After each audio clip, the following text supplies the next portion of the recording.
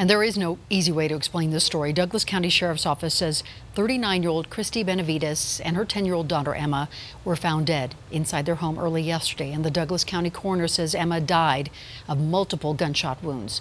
Denver 7's Mark Boyle is live in Highlands Ranch tonight. And Mark, the school has grief counselors to help students cope, but parents are also likely going to get some questions at home. Yeah, they certainly will. And once students leave Northridge Elementary School here where Emma attended, that grief and some of those questions will follow them home. Now, the school has urged in a letter parents to talk to their kids at home in a way that best fits their family, although it has a lot of parents asking how do they best do that and how do they do that in a constructive way.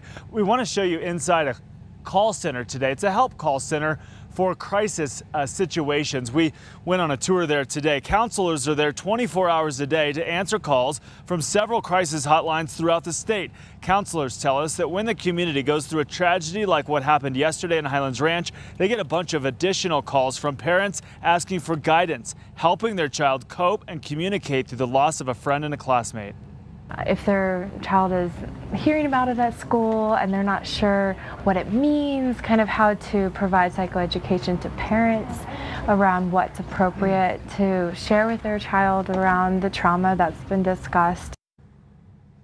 Counselors also urge parents to pay a little bit extra attention to how your child's acting at home, whether it's diet, sleep patterns. If there's changes to any of those, it may not signal trouble, but just that they're coping with things. If that persists, though, they say you should seek some professional help. We'll have much more and more tips for parents coming up tonight at 6. We're live in Highlands Ranch. Mark Boyle, Denver 7.